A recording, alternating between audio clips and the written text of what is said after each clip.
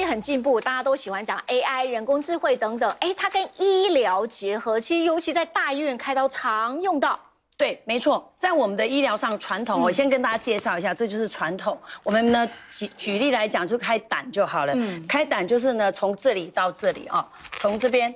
呃，看一下哦，就是整个这样一条线，就是等于我们的肋骨这样一条线。哦，那这这样也有十几公分吧？如果原则上是大概七七公分上下。公分。对，除非说它很粘黏。那我们这个胆的这样一个手术呢，这样开下来，病人从我们的呃皮下组织、肌肉这样一直到里面，病人恢复期大概至少要七到十四天，他才能够这样站起来。哎，那因为那个一拉扯就超痛的。那我们这个时代的进步啊，你看看哦，我们就进步到所谓的叫微创。嗯，微创就是说，其实也是打四个洞，一个洞一一到两公分，可是加起来是七公分。可是你知道，那个洞口就跟这个圆珠笔一样，这样插进去而已。所以呢，跟你这样一个伤口，你看哦，这样一个伤口跟这样一个的伤口，哪个大？所以加起来是七公分，跟它一样大，可是呢，伤害是最小。通常我们的病人身上打三个、三到四个洞，就看那个它的粘连度。那这个这种手术，我们举这个例子来讲，通常我们以前开刀是七天才回家，现在大概隔天。我们我们医师更强，隔天早上出院，下午就看门诊了。哦，对，超厉害。那我们现在又强调，就是有一些下腹腔，我这里要强调是下。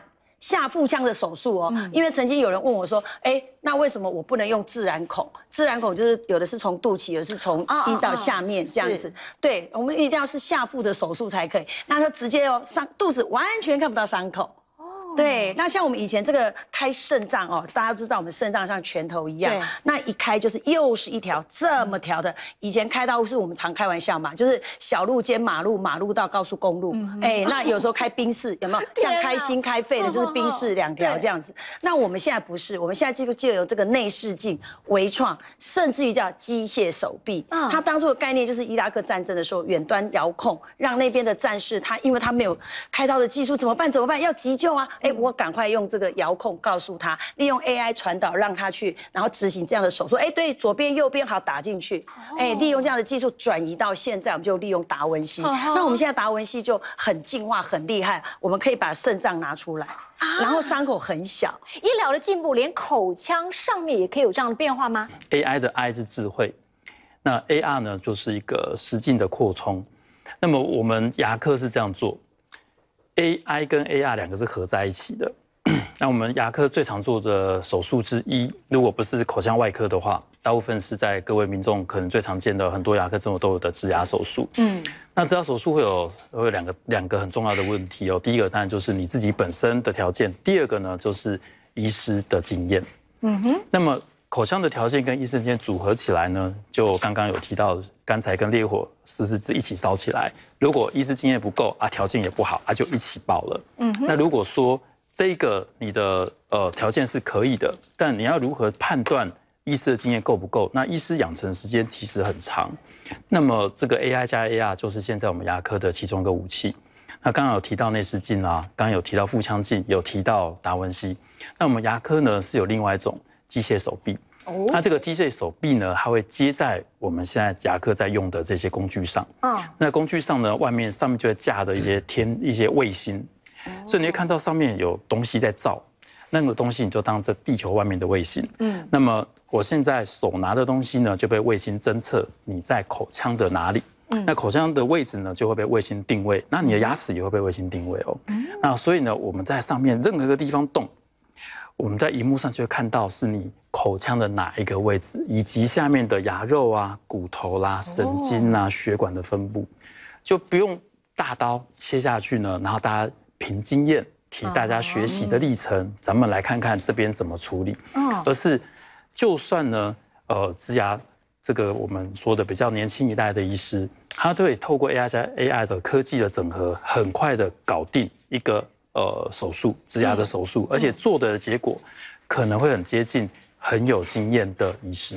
那如果就医疗单位的整合来讲的话，哎，这个是不是也可以协助让它比较安全啦、比较精准等等？是啊，就是你知道，有些时候我们心中想的、嘴巴念的，跟手上做的啊，这三个落差都很大。嗯，就是因为这种科技可以让我们手上做的、跟我们嘴巴讲的、跟心里想的这三个呢。会非常接近，所以我们牙医师有些时候就是说，我们要手眼协调嘛。啊，对。但你知道手眼协调呢，手跟眼是协调，但是协调的结果会不会产生一个好结果？哇，这不一定，因为口腔的状况有些时候被挡住了，有些时候没看清楚。对。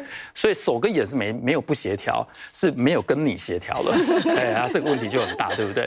所以所有精准的医疗呢，通常是微创精准，精准就靠科技，让医师正确把心里想的，然后放到我们你想要的位置。呃，我想就整个医学发展，当然是伤口越来越小，对，然后呢，病人复原越来越快，啊，创伤痛都减少。但是我有一点我需要强调，好像说你本来一个微创一个胆，结果呢，你没有跟病人先沟通好，结果一进去以后发现跟你想的不太一样，他边边已经有要癌变或从慢性有癌变的可能性，你会发觉你的视野非常小，嗯，或有的处理有问题，就必须有时候临时就要拉开来。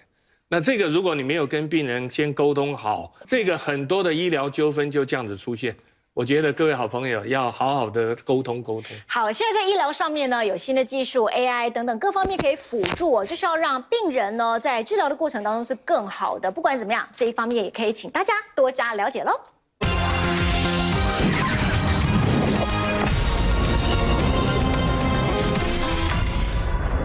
看牙状况，白白肿。现在民众呢，在看牙的时候，常会有等待太久啦，或者是牙科医师可能因为没有办法让预约上，让你的状况会拖得比较长的时间。那么现在呢，在二零二零年，我们牙科的状况已经大家都知道了。那在未来二零二一、二零二二，甚至更久的之后，牙科会变成什么样子呢？我们来跟各位分享一下。那么未来的牙科的医疗会提高我们的看牙的效率、看牙的成果。那么会采取三种方式。第一种呢，我们会有垂直整合的治疗。垂直整合治疗大概的概念是这样子的，也就是你的状况可能需要不同科别的合作，那这不同的科别有可能会跨到更远的地方，例如，比如说你的状况呢是因为睡眠呼吸中止症导致牙周病、牙齿向外翻这种龅牙的状况，我们牙科除了有矫正科、有牙周病科，可能还会会呼吸睡眠中心科。如果这些都在同个地方，那是不是很好呢？如果有一些治疗，例如植牙比较困难的难症。我们有 AI 配合 AR 的科技，让医师能够准确的把治疗放到定位，而且在很小的伤口、更短的愈合期之下，那也会是一个非常棒的结果。以上这些整合起来的一个整个医疗上的做法，当然是我们牙科未来必经之路。那么在病人的状况，就民众的观点，还会发生什么状况？会有个 App 会串接这些流程，自然而然的导引你在你的这个医疗空间里面执行完这些步骤，而且不会让你觉得天哪，这是个迷路的地方吗？这个就会是我们牙科在未来的医疗整合，除了跨科，还跨你的